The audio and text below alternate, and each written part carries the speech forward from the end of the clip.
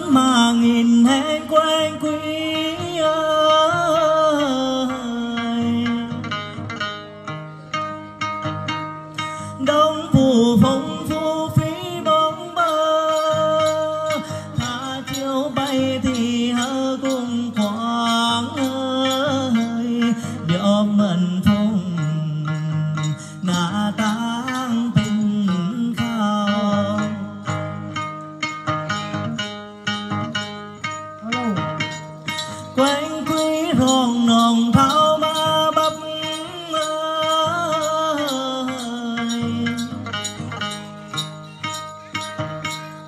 bóng chài hương.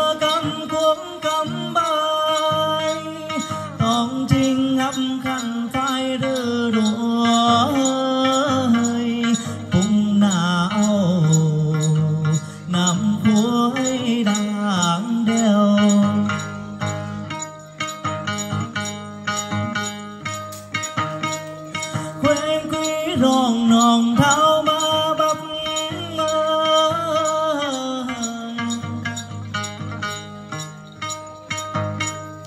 บ้องชายเหือกำควมกำบายต้องจริงหับขันไฟเรือรัว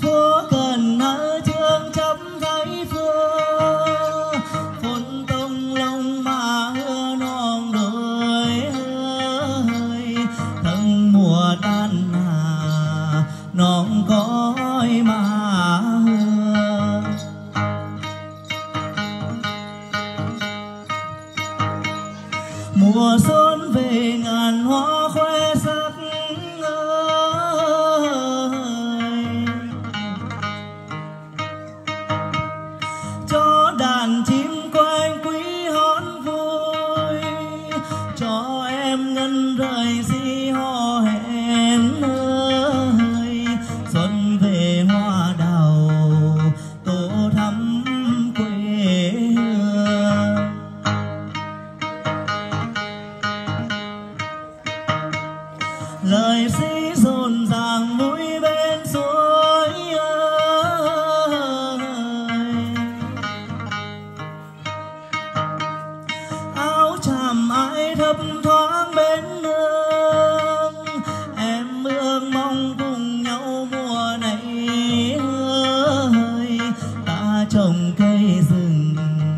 cho núi thêm xanh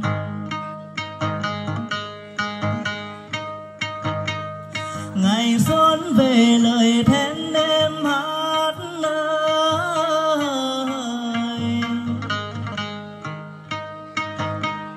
gió rừng ấy đưa câu hát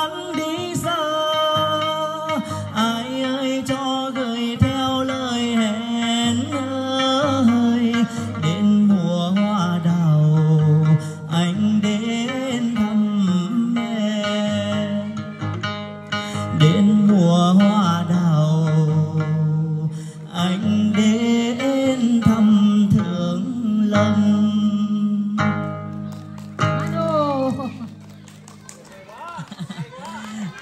Dạ vâng kính thưa quý vị à, rất là vui. Hôm nay à, Xuân Hữu xin được gửi lời cảm ơn sâu sắc nhất đến à, anh Ma Cương, chủ homestay Anna đã kết nối để Xuân Hữu được về đây hát cho toàn thể quý vị nghe.